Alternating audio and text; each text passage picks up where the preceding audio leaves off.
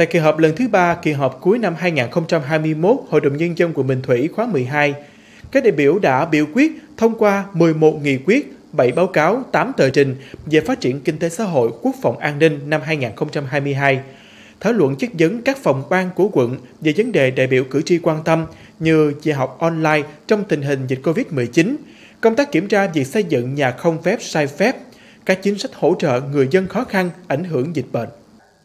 Tại kỳ họp, ông Trần Thanh Bình, Chủ tịch Ủy ban Nhân dân quận Bình Thủy, báo cáo làm rõ thêm một số vấn đề trong công tác chỉ đạo điều hành Ủy ban Nhân dân quận năm 2021 và định hướng thời gian tới.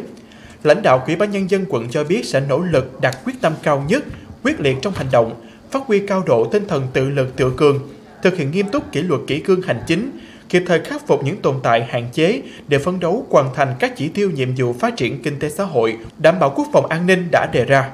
Năm 2022, bên cạnh việc tiếp tục triển khai quán triệt đồng bộ hiệu quả các nghị quyết của Trung ương, thành phố, quận Bình Thủy tập trung thực hiện các giải pháp chủ yếu về lĩnh vực kinh tế, xây dựng cơ bản, quản lý đô thị, tài nguyên môi trường, cải cách hành chính, xây dựng chính quyền, giữ vững quốc phòng an ninh.